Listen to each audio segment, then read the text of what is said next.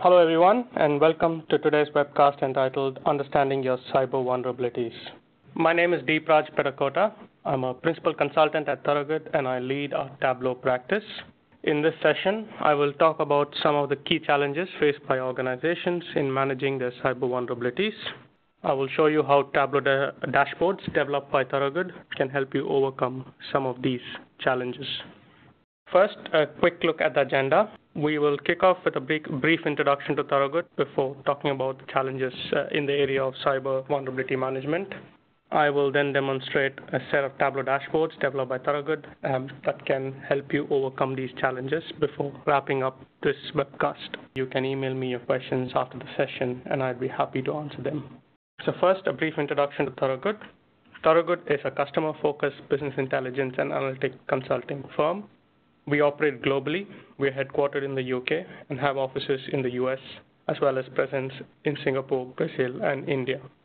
We focus on a combination of analytical ability, business focus, and technology to deliver unique solution to our clients. Our services range from helping customers with BI and analytic strategies and roadmaps through to the delivery and maintenance of BI and analytic systems. We are an independent consulting firm, and we partner with a number of technology vendors, some of whom uh, are shown on the screen today. We are a business-focused organization, and we help our customers find the best technology that can solve their business problems effectively. In today's webcast, uh, I will uh, focus on Tableau, uh, but a full implementation of a system to help you manage your cyber vulnerabilities may well include a combination of these technologies. Finally, just a quick look at our customers. So let's start off this webcast with some guidance from the National Cyber Security Center. The National Cyber Security Center is a UK government organization that provides advice and support to companies on how to avoid cybersecurity threats. In their guidance, they state that organizations should have a regular vulnerability management process which enables them to know what vulnerabilities are present in their IT estate. It also states that executive staff should be aware of major vulnerabilities in their IT estate as they are of their financial status. Now, this guidance is specific to vulnerabilities in computer systems that can put your organization at risk. Full cyber threat management strategy goes beyond just systems but the above guidance is still very relevant. It is still very important for senior management to be aware of the cyber health of the organization. So, what are the key challenges when it comes to managing your organization's cyber vulnerabilities? Firstly, organizations have to keep track of many different types of cyber threats, and these are often covered by different uh, systems, uh, and it's hard to get a full picture of an organization's cyber health in one single place. You often have to switch between multiple systems to understand different, how different parts of or how different types of cyber threats uh, are affecting your organization. Large organizations invariably have a large number of threats and vulnerabilities. These need to be prioritized before they can be acted upon. So manually sifting through scan results from different tools to identify what these threats are is time consuming uh, and is often not very sophisticated, so it's, li it's likely that you will miss uh, some threats as well. The inherent, the inherent risk of having multiple systems uh, is that the data from the systems don't really necessarily join up. It makes it particularly hard to analyze how a combination of different threats can put your organization at a, at a greater risk. Now, once we have identified uh, the mitigating action and you put a plan in place, tracking these uh, mitigating actions to completion is usually quite difficult. Where the mitigating action, for example, is like training your staff in the organization, measuring effectiveness is, is not very easy. So let's take a look at how Tableau um, and Thorogood can help you overcome these challenges. But before we do that, I just wanted to give you a brief overview of Tableau's product suite. Tableau can be broken down into four major offerings. The first offering is Tableau Desktop. Tableau Desktop offers an on-premise tool for users to create dashboards and reports in an agile environment while supporting self-serve analysis of their data. Next is Tableau Server, which is a web-based visual analytics platform. It enables collaboration amongst users and offers mobile reporting capability. Tableau Online is a software as a service offering. It is very similar to Tableau Server, but it's hosted and maintained by Tableau in the cloud. Lastly, we have Tableau Prep, which is a data transformation tool that lets you combine data from various sources for, for analysis in Tableau Desktop and Server. So let's take a look at our dashboards. For the demonstration, I, I will uh, shift to Tableau Desktop. So what you're seeing here on your screen is Tableau Desktop. Everything I'm showing in today's demonstration uh, will be will be possible on Tableau Server as well. Tableau Desktop, like I said, is a tool where you build these dashboards, uh, and Server is where you can share it to other users. So we start off with a summary dashboard, uh, and this dashboard brings together cyber threat data from two main systems. Um, the top part is from a vulnerability scanning software uh, that scans all computers and servers in your organization, and it identifies any possible vulnerabilities. Uh, the bottom part, uh, these are KPIs from an endpoint monitoring software. Now, an endpoint monitoring software constantly monitors all the computers that are on your network uh, that are basically interfacing with the web. So let's first look at the vulnerability monitoring section. Um, so at the top here are some KPIs that uh, will give you a, a, quick overview of how uh, the last scan uh, performed. So you can see here on the left an indication of how many computers were scanned by the vulnerability scanning tool. Uh, you can see that there were a small number of computers uh, that weren't scanned and you and you can uh, you know you can drill down on this further to do some investigation. Out of the computers that were scanned, the KPIs on the right um, show show the vulnerabilities identified. Now these vulnerabilities are classified as high and medium based on the potential threat they pose. Most scanning software generates scores that you can use to the you can use to classify vulnerabilities, but you may choose to classify the vulnerabilities manually as well if you want. At the bottom of the scores, uh, or at the bottom of the number of vulnerabilities, is a, a, a small trend line showing you uh, how the trend has been uh, over the last six periods in this case. And you can see here that uh, there's a constant increase uh, in, in the number of high vulnerabilities, except uh, for the period five, um, where there seems to be a drop in both the high and medium vulnerabilities. So perhaps, again, something for you to investigate to see why there was a sudden drop in vulnerabilities. Uh, but the general trend has been upward, which is uh, quite worrying.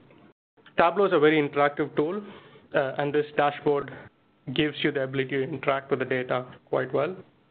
Um, so you can hover over the high vulnerabilities, for example, and you get a small tooltip that uh, gives you a bit more information. Uh, in this tooltip, uh, it seems to suggest that over a thousand of these vulnerabilities or the, over a thousand of the high vulnerabilities have been mitigated uh, since the previous period. So that's a very positive news. So you can see some information there just by hovering over the numbers. You can also get a bit more detail uh, by clicking on the icon uh, button here. That will take you to another screen that will give you more information on the vulnerability monitoring side of things. So clicking on that button it now takes me to a vulnerability monitoring dashboard. Uh, this dashboard gives me a, a, lot more information about the vulnerabilities that were identified in, in, in my IT landscape. Um, so again, you can see here uh, the total number of vulnerabilities classified as high, medium, and low, but also within that, uh, an indication of how many of those vulnerabilities were identified in the latest scanning period, as opposed to how many were available, how many had been identified previously but not fixed. It also gives you a view of how many of these high and medium vulnerabilities are exploitable. Uh, now, a vulnerability might be classified as exploitable uh, if based on the type of vulnerability or, for example, if it's on a system that's external facing. Uh, so you can see uh, roughly about uh, 1.4 uh, high vulnerabilities are ex are exploitable. So the, you know these it might you might want to focus on these vulnerabilities or prioritize these vulnerabilities when you're when you're applying your fixes. And then a, a, slightly bigger, uh, a larger view of the trends uh, that were available in the first screen as well. The bottom then brings through a few other attributes linked to the vulnerabilities.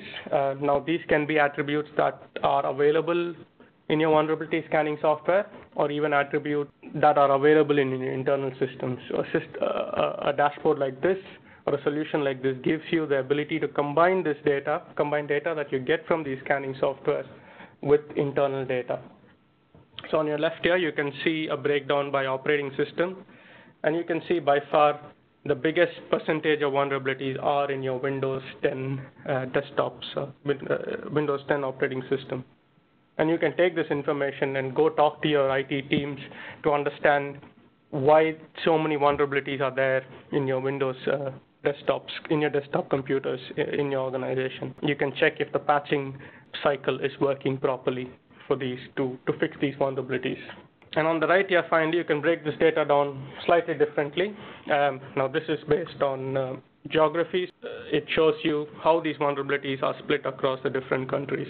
In our case, we have about four countries here in the data, uh, so you can see how it's split. Uh, pretty much equally across China, US, and the UK. Uh, Australia uh, doing slightly better in terms of the vulnerabilities itself. And then finally, in the middle there, uh, you can get a view of what are your top 10 vulnerabilities, the size of the box indicating the number of instances. Uh, so you can uh, you can see there that broken authentication and session management is, is a vulnerability that uh, is you know most prevalent in, your IT landscape.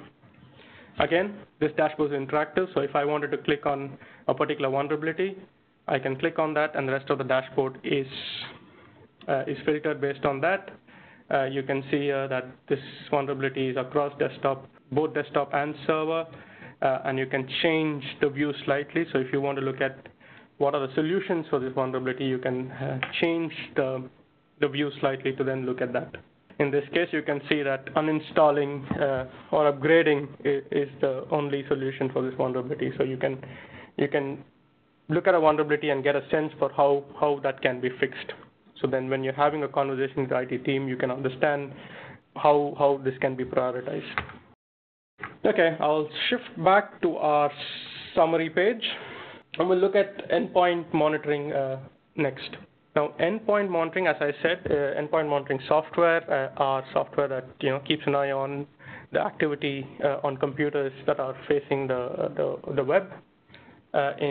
In, in our case, we've got a few KPIs here that we've bought through. Uh, so we're looking at how many threats were blocked uh, in, in the month of April, and out of that, how many were uh, as a result of people or people in your organization plugging in USB devices that were infected. Uh, what it also gives you is a, a view of how many policy violations um, were blocked in the last six months. So these are policies that you can set up across your to be uh, for across your organizations. And we look at we look into this a, a little bit more in detail uh, in when we go go to the next screen as to what these policies are and how we can remediate some of these violations. In the middle here, you can see uh, uh, it gives you a view of how many computers within your uh, company are non-compliant. In our case, we've defined non-compliance as computers that don't have encryption uh, software or anti-malware software or antivirus software installed on them. Uh, you can see there are a small percentage of computers across your organization, but you can also see how these um, how the how these computers are distributed across these three uh, criteria that we're looking at.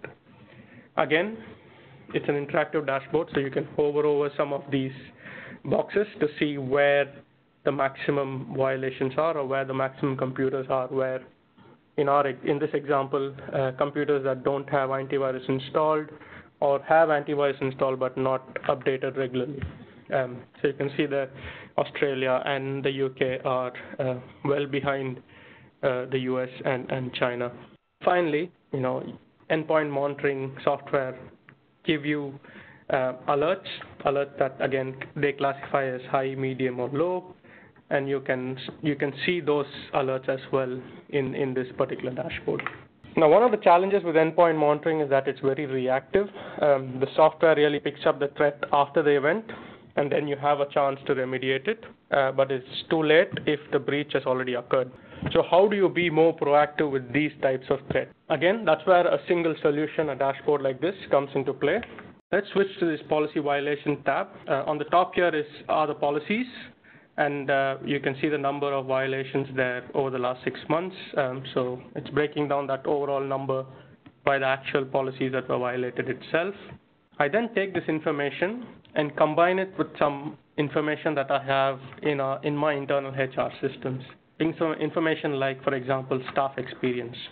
Looking at how this, you know, is there a trend between of these violations based on experience? Are people in with zero to two years experience, or three to 10 years experience, or 11 to 15 years experience, where, where is the maximum number of violations? And you can see that clearly that the maximum number of violations is between with people between the uh, work experience range of about three to 10 years.